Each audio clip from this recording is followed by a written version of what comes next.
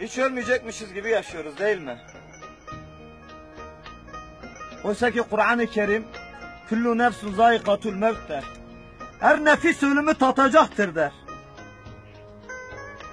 Sanki ölümümüzden çok uzakta.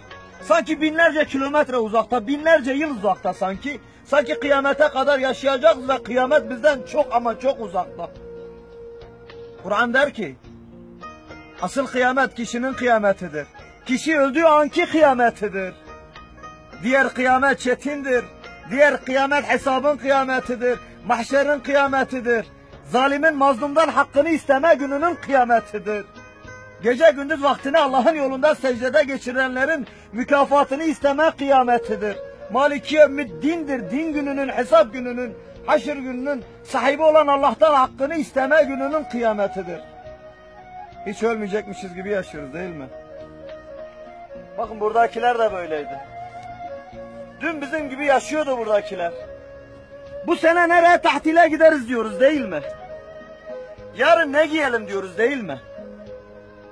Hiç yarın kefen giyeceğimizin hesabını yapıyor muyuz?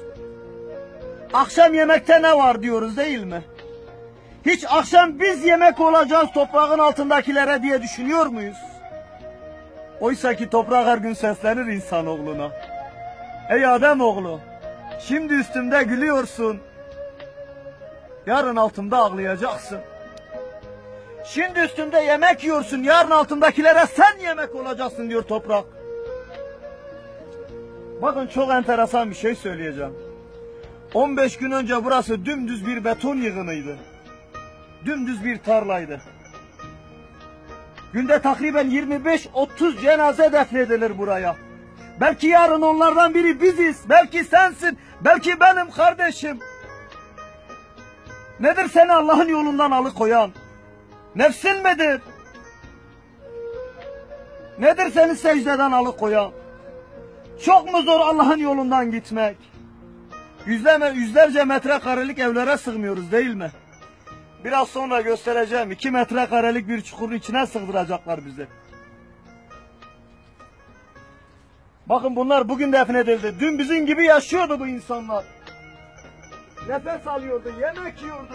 En güzel elbiseleri giyiyorlardı. Oysa ki bugün bir kefenden başka hiçbir şey yok üzerlerinde. Kimileri zengin, kimileri fakir, kimileri güçlü kuvvetli. Ama ama biçare, ama faydasız burada malının, gücünün, kuvvetinin. Hiçbir şeyin faydası yok bugün burada. Hiç ölmeyecekmişiz gibi yaşıyoruz değil mi? Bak kardeşim, yarın gireceğin yere bak. Yarın kıyamete kadar kalacağın yere bak. Nedir seni Allah'ın yolundan alıkoyan? Sanki, sanki kıyamete kadar yaşayacaksın. Kainatın efendisi Hazreti Muhammed Mustafa sallallahu aleyhi ve sellem bile öldü. Sen mi ölmeyeceksin? Allah'ım Ramazan ayını bize nasip etmiş. Bu mübarek Kadir gecesini bize nasip etmiş. Bin aydan daha hayırlı bir geceyi bize nasip etmiş. Gelin dönelim Allah'a. Söz verelim. Günahları terk edelim. Kul hakkı yemeyelim. Gıybet etmeyelim. Kur'an okuyalım. Secdede geçirelim bütün bir gecemizi. Günahlarımız için Allah'a yalvaralım. Güçlüsün, kuvvetlisin değil mi kardeşim? Dünyaları yıksalar bir gece bu kabirde kalamazsın. Bütün bir servetini verseler, bütün bir dünyayı sana bağışlasalar bir gece bu kabirde kalamazsın. Ama kıyamete kadar kalacaksın.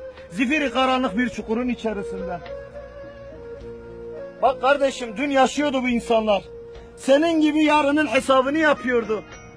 Benim gibi bu sene tahtile ne zaman gideceğizin hesabını yapıyordu. Heyhat. Şu anda senin benim yerimde olabilmek için bütün bir ömrünü, bütün bir hayatını secdede geçirmeye razı bu insanlar. Gelin vakti varken söz verelim Allah'a. Günahları terk edelim. Rahmete sarılalım. Kur'an'a sarılalım. Hiç ölmeyecekmişiz gibi yaşıyoruz değil mi?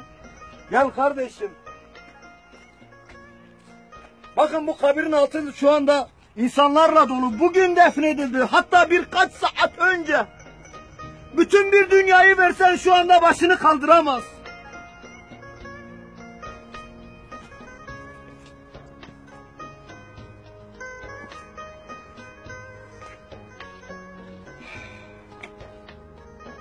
Dediğim gibi yüzlerce metrekarelik evlerin içine sığmıyoruz. İki metrekarelik bir çukurun içine sığdıracaklar bizi.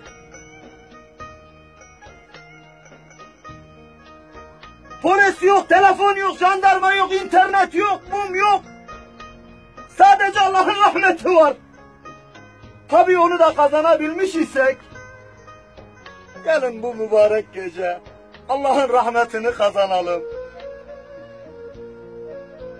Şu görmüş olduğunuz çukur kimine, kimilerine cennet bahçelerinden bir bahçe, kimine, kimilerine ise cehennem çukurlarından bir çukur. Çakmağın ateşine dayanamıyoruz değil mi? Heyhat! Güçlüsün, kuvvetlisin öyle mi? Yarın kabirin altında bunu kaldırabilecek gücün olacak mı senin?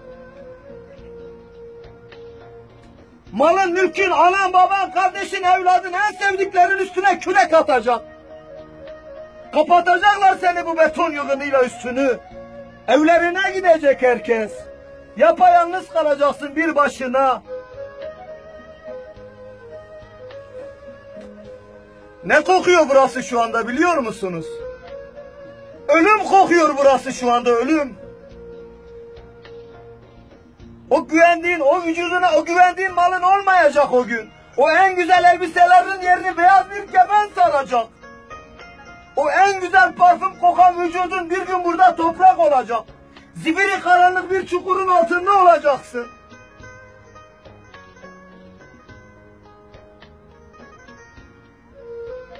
Hazreti İsa ne der bilir misiniz? Sessiz olduğuna bakmayın şu kabristanların. Bir de altındaki azap çığlığını duyabilseniz kasem ederim Allah'a hiçbiriniz ölünüzü cenazenizi toprağın altına gömmezdiniz der Hazreti İsa. Yarın burası dolacak biliyor musunuz? Kim bilir bu kabrin sahibi şimdi nerede neyin hesabını yapıyor? Belki benim. Belki sensin kardeşim. Gelin vakti varken Allah'a dönelim. Söz verelim Allah'a. Günahları terk edelim. Allah'ın razı olduğu bir kul, kul olabilme çabası içerisine gidelim. Zümer suresi